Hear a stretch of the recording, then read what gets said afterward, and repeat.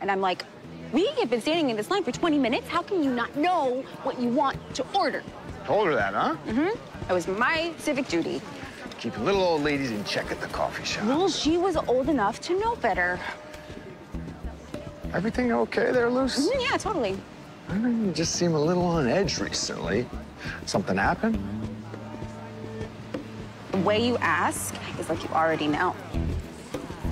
Maybe it's not my place, but there's a certain DIA officer who I haven't seen around your desk recently. Right, it's not your place. Fair. Sorry, that came out harsher than I meant. Whatever it was, isn't anymore, and it's for the best. Sure. Well, either way, I'm sorry, Liz. Well, let's go see about our dead Navy officer. Any indication Lieutenant Commander Chan was ill recently?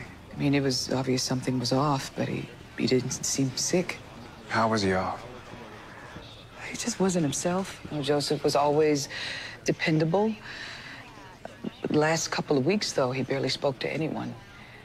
You know, he wasn't finishing tasks on time. And that was unusual. Totally.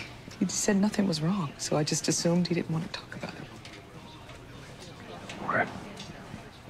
We'll need to talk to the rest of your team. If you just uh, give me a minute. HFD's taking this seriously. Because we don't know exactly what we're dealing with yet. Victim's Lieutenant Commander Joseph Chan, an engineer. Sudden onset of seizures and signs of possible exposure to a toxic substance. Anyone else in the lab affected? Not so far. Whatever's going on, it seems to be specific to Chan. Body's already at AFMES.